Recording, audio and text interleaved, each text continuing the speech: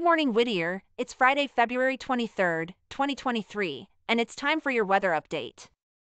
Unfortunately, today's forecast is bringing more rain and more wind. The high for today is 55 degrees with 17 mile an hour winds coming from the southeast this morning. The sun rises at 6:26 a.m. this morning and will set this afternoon at 5:44 p.m. We are expecting rain all day today and tonight with a low of 46 degrees and 19 mile an hour winds from the southeast.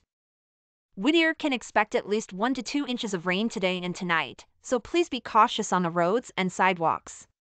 The heavy rain is expected to continue into the upcoming weekend and continue until the end of next week. Due to the severity of the storm, Whittier area cities are handing out sandbags to residents. Yesterday, Pico Rivera became the latest city to hand out sandbags, with pickup locations at 9633 Beverly Road and at fire stations located at the address listed to my right. Please stay safe and dry, and make sure to plan ahead if you're traveling this weekend. Thank you for tuning in to Whittier 360 News Network for your daily weather update. Good morning, I'm Caroline with Whittier 360 News Network. Today, we have some exciting news about a project aimed at capturing and storing rainwater in Los Angeles County.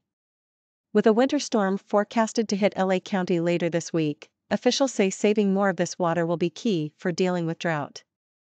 On Wednesday, Los Angeles County Supervisor Janice Hahn announced the groundbreaking of the Stormwater Capture Project in South Whittier, which is the county's first project of this kind in unincorporated SD4.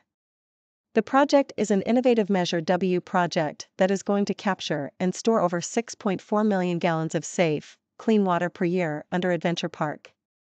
The project is building a 6 million gallon underground storage system that will capture stormwater and divert urban runoff into below ground storage, then send it to a nearby sanitary sewer system. Mark Pestrella, the director of Los Angeles County Department of Public Works, explained that the water will be put into the ground, where it will soak before it ends up in the San Gabriel or LA River system and off to the ocean. The county has been working for decades to capture stormwater, and with projects like this one, it says it will capture 18 billion gallons of water in the next five years, enough for 500,000 people for a year. Pestrella explained that the project would reduce the county's reliance on the Colorado River and Northern California water, which are both not reliable sources of water. In addition to the water storage benefits, the project will provide enhancements to the park with new walking paths, a sports field, and restrooms. Officials feel this will be a win win as people can enjoy facilities above ground while valuable water will be stored underground. Rainwater is precious, and every time it rains, local residents want to know why we're letting so much of that water run into gutters and out to the ocean.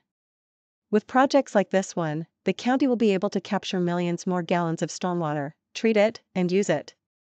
The county hopes to capture more stormwater and help conserve water for the future.